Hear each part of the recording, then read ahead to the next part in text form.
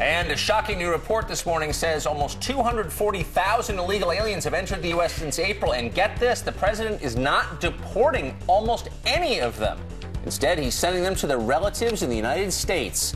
We'll tell you the latest from the White House. A free trip. And did you celebrate America? Unfair. It is. Um, and also that they're not telling you the truth. And at least this one specific case, we can now confirm that. The White House has said all available means will be taken to deport those tens of thousands of illegal aliens from Central America streaming over our southern border. Now, the New York Times reports that is not true.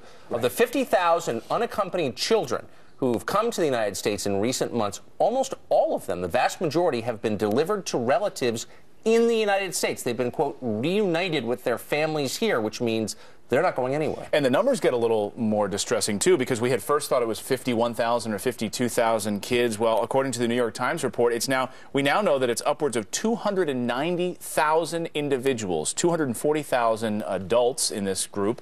And one flight is uh, landing in Murrieta, California every 72 hours. And it's going to continue with these kids arriving. Well, Clayton, who do you think's paying for this? That's the other thing. You mentioned the flight. Okay, so it's it's plane tickets, it's bus tickets. People who come here legally don't get the taxpayers to foot their bill, right? So what's the incentive to come here the correct way and abide our laws? Why not just come in and break the law and you, you get a free ride and you get your food paid for too in some cases? Well, the New York Times pointing out that they're, they're exploiting this 2008 law, this legal loophole, which allows them to come here, get transported for free by government officials by having this uh, work permit, this visa, this work permit to be here illegally.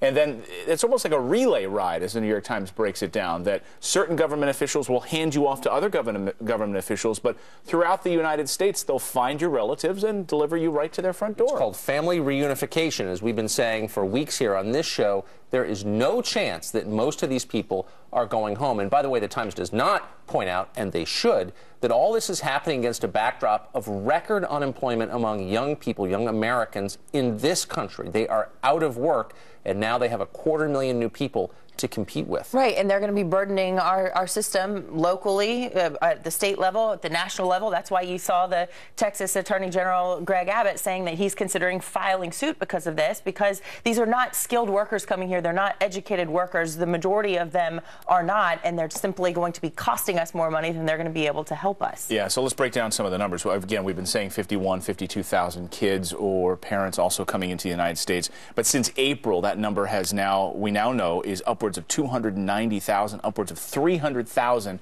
individuals have come into this country since, uh, since April. Unbelievable. Yeah. Well, here's a story that really defines hypocrisy. Tom Steyer, you may have heard of him. He is at this point the single largest donor to the Democratic Party. You see a picture of him on TV right there. He may be more responsible than any other person for killing the Keystone.